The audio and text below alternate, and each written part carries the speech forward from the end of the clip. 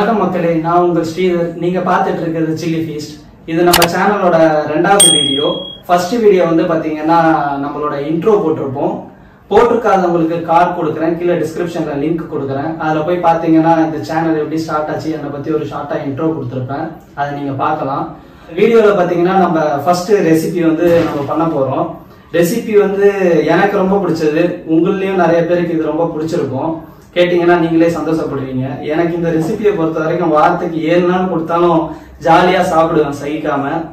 உங்களையும் நிறைய பேர் அந்த மாதிரி இருப்பீங்கன்னு சொல்லி நம்புறேன். என்ன பண்ண போறோம்னா சிக்கன் பிரியாணி சென்னை ஸ்டைலில் பாஸ்மதி ரைஸில் நம்ம பண்ண போறோம். சிக்கன் பிரியாணிலே ஆக்சுவலாக பார்த்தீங்கன்னா ரெண்டு டைப் இருக்கு. ஒன்று வந்து பார்த்தீங்கன்னா வடிச்சு போடுறது வடி பிரியாணின்னு சொல்லுவாங்க. இன்னொன்று வந்து பார்த்தீங்கன்னா ஃபுல் தம் போட்டு பண்ணுவாங்க. அது ஒரு ஸ்டைல் இது ரெண்டுமே பார்த்தீங்கன்னா நம்ம சென்னை ஸ்டைல் பிரியாணி தான். இது இல்லாமல் நிறைய டைப் பிரியாணிஸ் இருக்கு. அது நம்ம அப்கமிங் வீடியோஸ்ல பார்க்கலாம். So chicken biryani time waste பண்ணாம நம்ம ஸ்டார்ட் பண்ணலாம். ஃபர்ஸ்ட் நான் இன்கிரீடியன்ஸ் பத்தி சொல்லிடுறேன். நானூறு கிராம் வெங்காயம் நானூறு கிராம் தக்காளி. சைஸ்ல பாத்தீங்கன்னா இது ஒரு மீடியம் சைஸ் நாலு டு அஞ்சு வெங்காயம் வரும். இது வந்து பாத்தீங்கன்னா அஞ்சு டு ஆறு தக்காளி வரும் மீடியம் சைஸ் வெங்காயம் கட் பண்ணும் போது பாத்தீங்கன்னா ரொம்ப மெலிசா கட் பண்ணாதீங்க. கொஞ்சம் பெருசு பெருசா கட் பண்ணிக்கோங்க. ஏன்னா மெலிசா போட்டீங்கன்னா மசாலா கிண்டும் போது வந்து பாத்தீங்கன்னா அது வந்து கரைஞ்சிரும். ஸோ தக்காளியும் பாத்தீங்கன்னா உங்களுக்கு ஏத்த மாதிரி நீங்க வெட்டிக்கோங்க. நெக்ஸ்ட் சிக்கன் இது வந்து பாத்தீங்கன்னா நான் ஸ்கின் பீல் ஆஃப் பண்ணிட்டேன். இது பீல் ஆஃப் நான் வந்து பாத்தீங்கன்னா ரெகுலரா ஸ்கின் எடுத்து தான் யூஸ் பண்ணுவேன். எனக்கு அப்படிதான் பிடிக்கும். உங்களுக்கு சப்போஸ் ஸ்கின்னோட வேணும்னா நீங்க யூஸ் பண்ணலாம். பட் ஆயில் யூஸ் பண்ணும்போது அதை நீங்க கம்மி பண்ணிக்கணும்.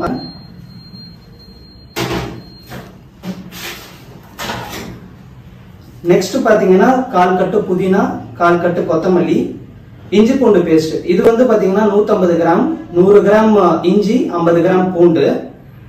நூறு கிராம் இஞ்சி 50 கிராம் பூண்டு இதுதான் ரேஷியோ சப்போஸ் இப்போ உங்க வீட்டில் வந்து இஞ்சி பூண்டு பேஸ்ட் நீங்க ஆல்ரெடி அரைச்சி வச்சிருந்தீங்கன்னா இந்த ரேஷியோல நூறு பச நூறு கிராம் வந்து இஞ்சி நூறு கிராம் பூண்டுன்னு அந்த மாதிரி அரைச்சி வச்சிருந்தீங்கன்னா பிரச்சனை இல்லை.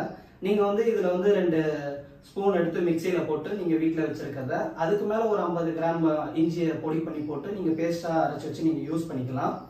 அதுக்கப்புறம் பார்த்தீங்கன்னா நான் வந்து மிளகாத்தூள் காஷ்மீரி மிர்ச்சி எடுத்திருக்கேன். இதில் காரம் கம்மியாக இருக்கும் பட் கலர் நல்லா கொடுக்கும். ஏன்னா நம்ம வந்து பிரியாணியில் வந்து பார்த்தீங்கன்னா ஃபுட் கலர் சேர்க்க போகிறது இல்லை அதனால் இதை எடுத்துக்கணும்.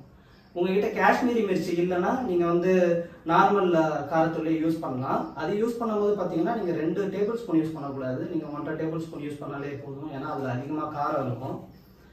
அப்புறம் பச்சை மிளகாய் ஒரு ஆறு எடுத்திருக்கேன். மீடியம் சைஸு ஸோ இது நீங்கள் பார்த்தாலே தெரியும். ஆறு. இதுக்கப்புறம் ஏலக்காய் ஒரு ஆறு. அப்புறம் கிராம்பு ஒரு ஆறு. பட்டை ஒரு ரெண்டு பீஸ் எடுத்திருக்கேன். லெமன் வச்சுருக்கேன் பட் லெமன் வந்து புளிப்பு அளவுலேயே இதை நம்ம யூஸ் பண்ணலாம். இல்லாத பட்சத்தில் நம்ம இதை ஸ்கிப் பண்ணிக்கலாம். நெக்ஸ்ட் வந்து கேர்டு எடுத்திருக்கேன். இது வந்து பார்த்தீங்கன்னா இரநூறு எம்எல் கேர்டு பண்ணிக்கலாம் ரைஸ் வந்து பார்த்தீங்கன்னா நான் ஒரு கிலோ பாஸ்மதி ரைஸ் எடுத்திருக்கேன். இது நார்மல் நம்ம லோக்கல் கடையில் கிடைக்கிற பாஸ்மதி ரைஸ் தான். இதை தான் நான் யூஸ் பண்ணுறேன் நல்லா இருக்கு. இப்போ இதை வந்து பார்த்தீங்கன்னா நம்ம தண்ணியில் ஊற்றி ஊற வச்சிருவோம். நான் வந்து பார்த்தீங்கன்னா ஒரு கிலோ பிரியாணி பண்ணுறதுக்கு இந்த பாத்திரம் எடுத்திருக்கேன். இது வந்து கொஞ்சம் பெரிய பாத்திரம் தான். எனக்கு இது கம்ஃபர்டபுளாக இருக்கிறதுனால நான் இதை எடுத்துக்கிறேன். ஸோ நம்ம அடுப்பை பற்ற வச்சிருக்கோம்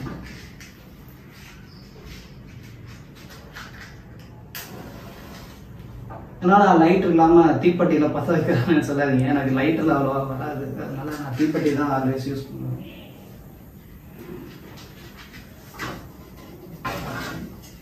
எண்ணெய் பார்த்தீங்கன்னா நார்மல் ரீஃபண்ட் ஆயில் தான் யூஸ் பண்ணுறேன் நீங்களும் ரீஃபண்ட் ஆயில் யூஸ் பண்ணலாம். பட் இந்த கடலெண்ணெய் நல்லெண்ணெய் யூஸ் பண்ணுறதை அவாய்ட் பண்ணுங்க. அது வந்து பார்த்தீங்கன்னா பிரியாணி ஃப்ளேவரை இது பண்ணிடும் ரீஃபண்ட் ஆயில் யூஸ் பண்ணலாம் பாம் ஆயில் யூஸ் பண்ணலாம். நான் ஒரு இரநூறு எம்எல் வந்து யூஸ் பண்ணுறேன் நீங்கள் வந்து பார்த்தீங்கன்னா இந்த மாதிரி ஜார்லேயே மெஷர்மெண்ட் வச்சுதான் வரும். ஸோ அதை நீங்கள் யூஸ் பண்ணிக்கலாம்.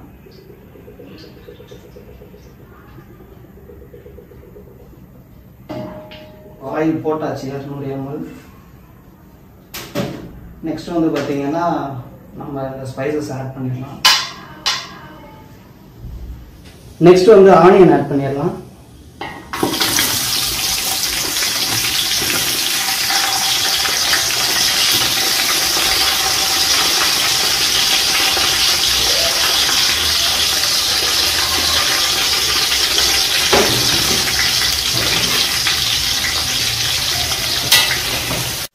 ஆனியனை நல்லா இதை வளர்க்கணும். அரவேற்காலாம் இருக்கக்கூடாது. நல்லா கோல்டன் ப்ரௌனாக வந்து வளர்க்கணும். நான் அந்த கண்டிஷன் வந்த பிறகு நான் உங்களுக்கு காமிக்கிறேன். எப்படி இருக்கணும் அதே மாதிரி சும்மா வதக்கிட்டு இருக்கணும்னு அவசியம் கிடையாது. ஜஸ்ட்டு வதக்கிட்டு இருக்கணும் அது ஏன்னா நீங்கள் வதக்கிட்டே இருந்தீங்கன்னா சீக்கிரம் கோல்டன் ப்ரௌன் ஆகாது ஸோ அதை வைக்கணும். ஆஹ் நம்ம இங்கே வெங்காயம் வதக்கும் போதே பார்த்தீங்கன்னா இந்த அடுப்பை பற்ற வச்சு இதில் நம்ம ரைஸ் பாயில் பண்ணுறதுக்கு உண்டான தண்ணியை ஊற்றி வச்சிடணும். நான் இதில் பார்த்தீங்கன்னா ஒரு ரெண்டு ரெண்டு லிட்டர் தண்ணி போட்டிருக்கேன் இதை இப்போ நம்ம மூடி போட்டு கொதிக்க வச்சுருக்கோம்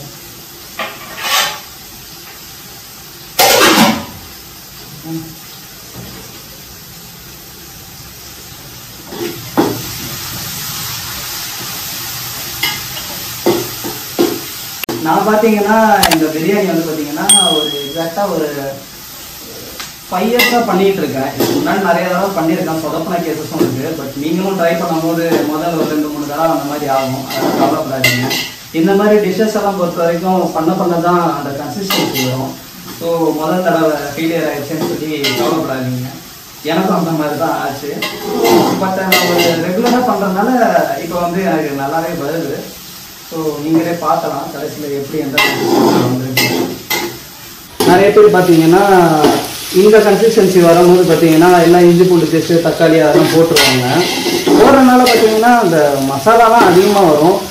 பட் அந்த பிரியாணிக்கு உண்டான அந்த டேஸ்ட்டு கலரு அப்புறம் பார்த்தீங்கன்னா சில பேர் பண்ணுவாங்க. மதியானம் பண்ணுவாங்க. பார்த்தா ராத்திரியே வந்து ஒரு மாதிரி தண்ணி விட ஆரம்பிச்சிடும் ஒரு மாதிரி கெட்டு போயிடும் அதெல்லாம் வந்து இந்த மாதிரி கண்டிஷனில் நீங்கள் அந்த இஞ்சி பூண்டு பேஸ்ட் போட்டு பண்ணுறதுனால தான் ஆகும். இது நல்லா பார்த்தீங்கன்னா கோல்டன் ப்ரௌனாக ஆகும். அப்போ தான் நீங்கள் அந்த இஞ்சி பூண்டு பேஸ்ட்டு ஃபர்தர் இன்க்ரீடியன்ஸ்லாம் நீங்கள் வந்து இதில் ஆட் பண்ணணும். இந்த கண்டிஷனில் நீங்கள் போடக்கூடாது. பார்த்தீங்கன்னா இன்னும் ஒரு டூ டு த்ரீ மினிட்ஸில் இது வந்து கோல்டன் ப்ரௌன் பிரியாணி செய்கிறதுலே பார்த்தீங்கன்னா இதுதான் கொஞ்சம் டைம் கன்சியூமிங் இது வதங்கின பிறகு பார்த்தீங்கன்னா பரபரன்னு முடிச்சிடும் எல்லாமே வேகமாக இதுதான் கொஞ்சம் பொறுமையாக இருக்கணும் இந்த இடத்துல. அவசரம் அதான் நல்லா கோல்டன் ப்ரௌன் ஆயிடுச்சு. நீங்கள் வீடியோவில் நல்லா பார்க்கலாம்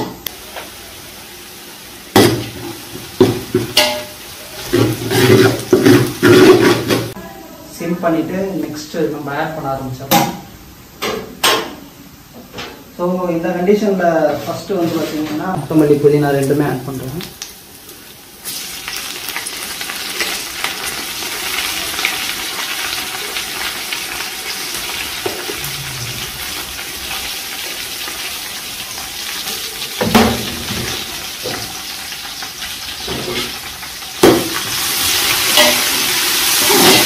ஸோ ஜஸ்ட் ஒரு டென் செகண்ட் தேர்ட்டி செகண்ட் அவ்வளோதான் அதிகமாக ட்ரை பண்ணுறேன் இஞ்சி பூண்டு பேஸ்ட் ஆட் பண்ணுறேன்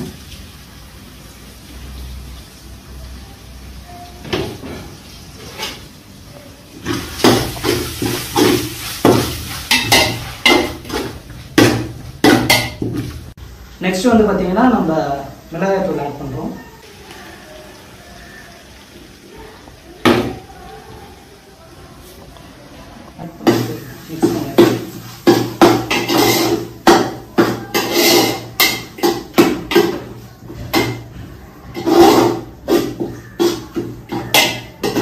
ரொம்ப வளரணும்னு அவசியம் கிடையாது. ஏன்னா இதை போட்டு நம்ம அடுத்த நிறைய கொதிக்க வைக்க போகிறோம் அந்த பச்சை வாசனை வந்து ஆட்டோமேட்டிக்காக ஜஸ்ட் போட்டு மிக்ஸ் பண்ணணும்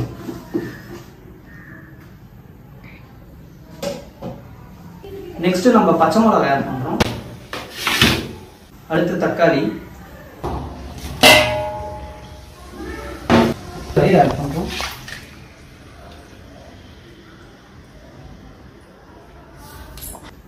நெக்ஸ்ட்டு சால்ட் ஆட் பண்ணுறோம் நான் எப்போவுமே பார்த்தீங்கன்னா அந்த கல்லுப்பு தான் ஆட் பண்ணுவேன். ஃபஸ்ட்லேருந்தே அதுதான் பார்ப்போம் இது பார்த்தீங்கன்னா எவ்வளோ அளவுன்னு பார்த்தீங்கன்னா ஒரு நாலு விரல் அடங்குற மாதிரி நான் அளவு போடுவேன். அதுக்கப்புறம் தேவைப்பட்டால் நம்ம எக்ஸ்ட்ரா போட்டுக்கலாம்.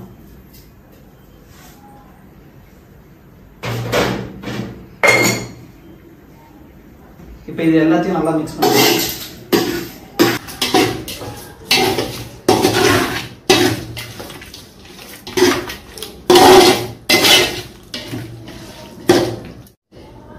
அடுப்பை ஸ்வீட் பண்ணிடுவோம். மசாலா நல்லா வதங்கி எண்ணெய் மேலே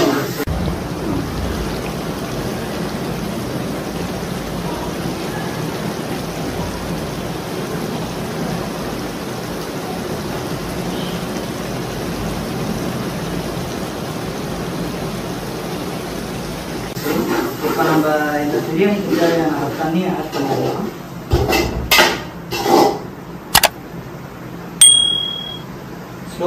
பிரியாணிக்கு பார்த்தீங்கன்னா nine hundred to one litre நீங்கள் தண்ணி ஆட் பண்ணணும். ஒன் கேஜி பிரியாணிக்கு.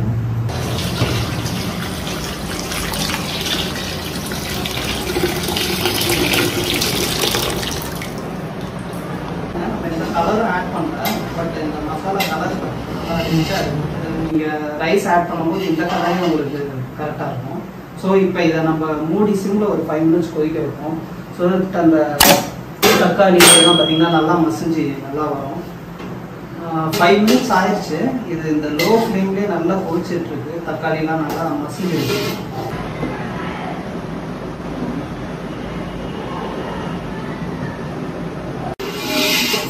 இப்போ அஞ்சு நிமிஷம் ஆயிடுச்சு. இந்த தக்காளிலாம் நல்லா மசிஞ்சு நல்லா மசாலாலாம் வந்துருச்சு. இந்த டைமில் வந்து நம்ம சிக்கன் ஆட் பண்ணணும்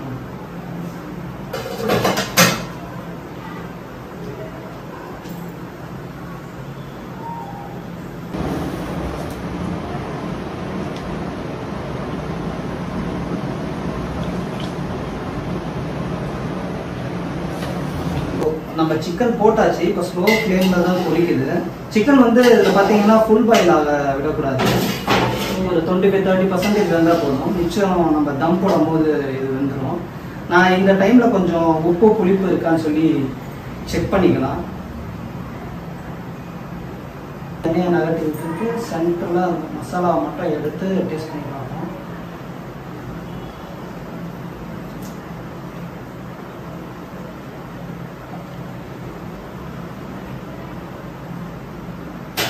காரம் கரெக்டாக இருக்குது பட் உப்பு கொஞ்சம் தேவை. இதில் உப்பு எப்படி போடணும்னா ரொம்ப கரிக்கவும் கூடாது ரொம்ப கம்மியாகவும் இருக்கக்கூடாது. இதுக்கு மீடியமாக போடணும். இதுக்கு தேவையான உப்பை ஆட் பண்ணிப்பேன் எக்ஸ்ட்ரா ஸோ எனக்கு ரெகுலராக போட்டு பழக்கன்றனால நான் போடுறேன். நீங்கள் வந்து உங்கள் டேஸ்ட்டுக்கு ஏற்ற மாதிரி நீங்கள் ஆட் பண்ணிக்கலாம். அதே மாதிரி பார்த்தீங்கன்னா இதில் புளிப்பும் கொஞ்சம் கம்மியாக இருக்குது நம்ம ஃபஸ்ட்டு வெட்டி வச்சிருந்தோம் அந்த லெமனை யூஸ் பண்ணிடலாம். இந்த லெமன் எடுத்துக்கிட்டாச்சு. அதை இதை நம்ம பிழிஞ்சு விட்டுக்கலாம்.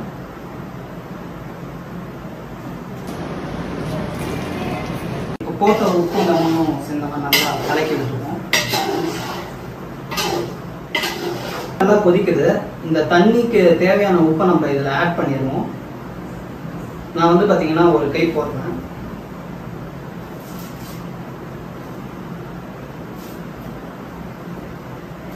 ஸோ இது கரைஞ்ச பிறகு இதில் நம்ம ரைஸ் ஆட் பண்ணிடலாம். தண்ணியில் நம்ம உப்பு ஆட் பண்ணியாச்சு. உப்பு இதில் எப்படி இருக்கணும்னா நல்லா கரிக்கிற மாதிரி இருக்கணும். அப்போ தான் பார்த்தீங்கன்னா அது போய் நம்ம ரைஸில் சேரும். வந்து பார்த்தீங்கன்னா நான் அரிசி எடுத்து வடிகட்டி வச்சுருக்கேன் ஊற வச்சது.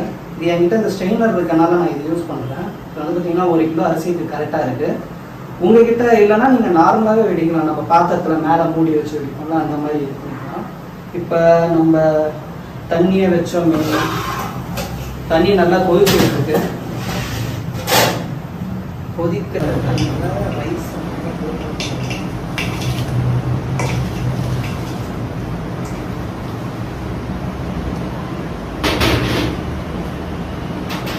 ரைஸை ஆட் பண்ணிட்டேன். அரிசி பார்த்தீங்கன்னா ஆஃப் பாயில் ஆயிடுச்சு உங்களுக்கு பார்த்தாலே தெரியும். இதை எப்படி கண்டுபிடிக்கணும்னா நீங்க அரிசி எடுத்து பார்க்கும்போது அதுல வந்து கோடு கூட கொஞ்சம் டிரான்ஸ்பரண்டா தெரியும். அந்த மாதிரி தெரிஞ்சதுன்னா இது ஆஃப் குக் ஆயிடுச்சுன்னு அர்த்தம். இப்போ இதை நம்ம ஸ்ட்ரெயின் பண்ணிடலாம். ரைஸை ஸ்ட்ரெயின் பண்ணுவோம். நான் ஃபஸ்ட்டு யூஸ் பண்ண அதே ஸ்ட்ரெயினரை தான் யூஸ் பண்ணுறேன் இதுலேயும்.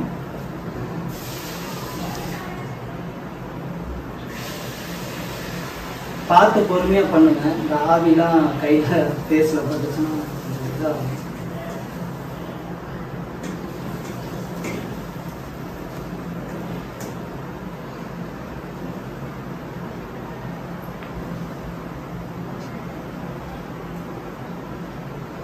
ரைஸை நல்லா வெடிச்சிட்டோம்.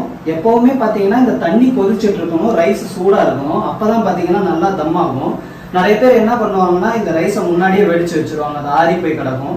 அதை கொண்டு போய் இந்த மசாலால போடும்போது என்ன பாத்தீங்கன்னா மேலே ஃபுல்லாக ட்ரையாக இருக்கும். உள்ள மட்டும் சாஃப்டாக இருக்கும். அந்த மாதிரி பண்ணக்கூடாது. இப்போ பார்த்தீங்கன்னா நான் சென்டராக கொட்டுறேன் பாருங்க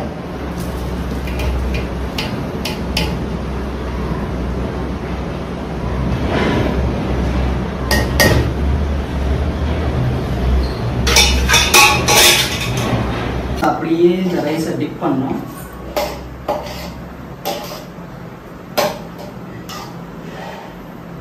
இப்போ வந்து பார்த்தீங்கன்னா ரைஸ் அதிகமாக இருக்கு தண்ணி கம்மியாக இருக்கு. இந்த டைம்ல நம்ம என்ன பண்ணோம்னா நம்ம வெடிச்சு வச்சிருக்கோம் பார்த்தீங்களா அந்த தண்ணியை இதில் யூஸ் பண்ணிக்கலாம்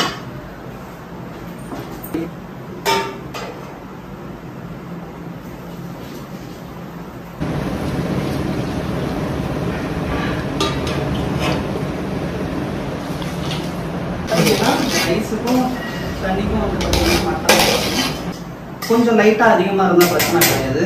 இப்போ இந்த சமயத்தில் இதை மூடி நம்ம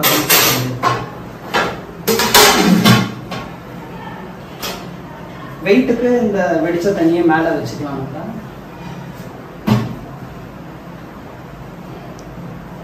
இப்போ ஃபுல் ஸ்பீடில் வச்சிட வேண்டியது அடுப்பு. இப்போ நான் அடுப்பை ஃபுல் ஸ்பீடில் வச்சுட்டேன். இப்போ இது ஒன் மினிட்ஸ் வச்சு உள்ள உள்ள மசாலா கொதிக்க ஆரம்பிச்சிடும் அது எப்படி தெரியும்னா சைட்லேருந்து நம்மளுக்கு புகை வர ஆரம்பிச்சிடும் அந்த டைம்ல என்ன பண்ணணும்னா சிம் பண்ணி டென் டு ஃபிஃப்டீன் மினிட்ஸ் ஆக்சுவலாக டென் மினிட்ஸ்லேயே ஆயிரும். But ten to fifteen minutes நம்ம ஸ்லோலியே சிம்லேயே வச்சோம்னா நல்லா ப்ராப்பராக தம் ஆயிரும். ஏன்னா நம்ம வச்சு ஒன் மினிட் ஆயிடுச்சு இந்த சைட்ல இருந்து புகை வருது உங்களுக்கு நல்லா க்ளீனாக தெரியும். இந்த புகை வந்தவொடனே சிம் பண்ணி டென் மினிட்ஸ் விட்டுருவோம் நம்ம. நம்ம தம்மில் வச்சு பதினஞ்சு நிமிஷம் ஆயிடுச்சு. இப்போ நம்ம ஓப்பன் பண்ணி பார்ப்போம் எப்படி இருக்குன்ட்டு. முதல்ல எடுத்து வச்சா பார்த்து ஓப்பன் பண்ணுங்க. எப்பயும் உங்கள் சைடு பார்த்து எடுங்க. ஆப்போசிட்ல எடுத்தீங்கன்னா கையில் அந்த ஆவி அடிக்கும்.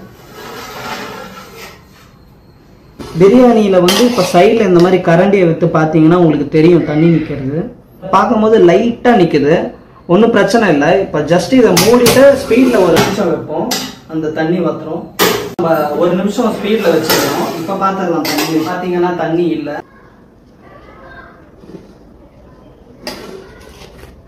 இப்போ என்ன பண்ணணும்னா மேலே உள்ள ரைஸை வந்து பார்த்தீங்கன்னா எடுத்து நம்ம திருப்பி போட்டுறணும்.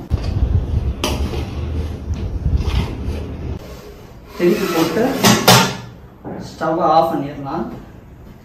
ஆஃப் பண்ணிட்டு ஒரு ஃபைவ் மினிட்ஸ் கழிச்சு நம்ம சர்வ் பண்ணுவோம். ஏன்னா எப்பயும் பிரியாணி பண்ண பிறகு பார்த்தீங்கன்னா அந்த ஹீட்லேயே சர்வ் பண்ணீங்கன்னா நிறைய உடையும். ஃபைவ் மினிட்ஸ் அப்படியே ஆஃப் பண்ணி ரெஸ்ட் விடுங்க. ஃபைவ் மினிட்ஸ் ரெஸ்ட் விட்ட பிறகு எப்படி பிரியாணி வந்து எடுக்கணும்னு நான் சொல்றேன். ஏன்னா பிரியாணி பண்றது எனக்கு தெரிஞ்சு ஈஸி ஆனா அந்த பிரியாணி எடுக்கிறது தான் கஷ்டம். ஏன்னா நீங்க நல்லா பண்ணிட்டு தெரியாம அதுல நடுவில் போய் குத்துறது அந்த மாதிரி பண்ணீங்கன்னா ரைஸ் உடஞ்சும் அப்புறம் பிரியாணி பார்க்க நல்லா இருக்காது. அது எப்படி எடுக்கணும் சர்வ் பண்ணி நான் உங்களுக்கு காட்டுறேன். ஓகே இப்போ நம்ம ஃபைவ் மினிட்ஸ் இதுக்கு ரெஸ்ட் விட்டாச்சு. இப்போ நான் பிரியாணி எப்படி கலக்கணும்னு சொல்லி சொல்கிறேன் பாருங்க. ஏன்னா நம்ம எந்த கலர் பவுடரும் ஆட் பண்ணல. ஒன்லி அந்த காஷ்மீரி சில்லி தான் ஆட் பண்ணியிருந்தோம். இதே மாதிரி ட்ரை பண்ணுங்க. உங்களுக்கும் வரும். எப்படி கலறதுன்னு சொல்றேன். சென்டர்லயோ சைட்லயோ நேராவோ கரண்டி வச்சு குத்தக்கூடாது. இது கீழ இருந்து எடுத்து இப்படி மேல போடணும் மசாலாவை. அந்த மசாலாவோட ரைஸ் கொஞ்சம் எடுத்து வீட்டில் போட்டுக்கணும்.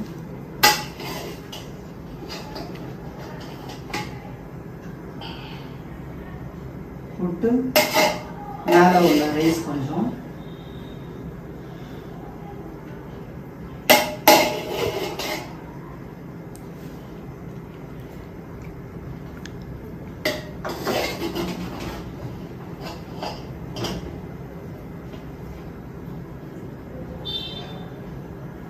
உங்களுக்கு தெரியும். இப்போ சிக்கன் வெந்திருக்கா என்ன ஏதுன்னு பார்ப்போம். நான் உங்களுக்கு காட்டுறேன்.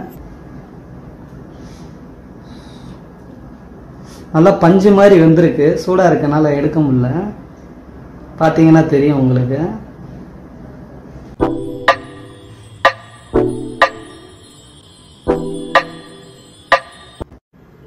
நீங்களும் உங்கள் வீட்டில் இந்த பிரியாணியை நான் சொன்ன அளவுகளோட செஞ்சு பாருங்கள் நல்லா வரும். ஃபேமிலியோட செஞ்சு சாப்பிட்டு எல்லாம் என்ஜாய் பண்ணுங்கள் இந்த வீடியோ பிடிச்சிருந்தா லைக் பண்ணுங்கள் கமெண்ட் பண்ணுங்கள் ஷேர் பண்ணுங்கள் இந்த சேனலுக்கு சப்ஸ்கிரைப் பண்ணுங்கள் உங்களை அடுத்த வீடியோவில் சந்திக்கும் வரை உங்களிடமிருந்து விடைபெறுவது நான் உங்கள் ஸ்ரீதர். பை